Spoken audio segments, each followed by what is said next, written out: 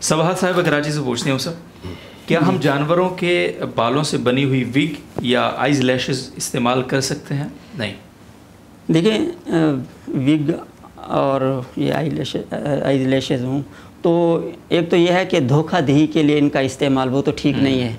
लेकिन अगर वाकई कोई आदमी उसके बाल इसी तरह हो गए कि अब ऐब की शक्ल बन गई है तो उसके इस्तेमाल की गुंजाइश है लेकिन इसमें यह शर्त है कि किसी इंसान के बाल इस्तेमाल ना हो। क्योंकि हदीस शरीफ में अल्लाहवासिला वलमस्तवसिला कि ऐसी औरतें जो दूसरे उनके बाल लेकर अपने बालों के साथ जोड़ती हैं तो उनके ऊपर लाना था चाहिए ऐसा करने वाले और करवाने वालों पर लाना था तो इंसानी बालों को दूसरे इंसान के बाल ये तो इस्तेमाल नहीं किए जा सकते। इसी तरह जो खनज़ीर है तो वो भी चूँकि नजसुलैन है उसके सारे अज्जा नापाक है हड्डी बाल सब।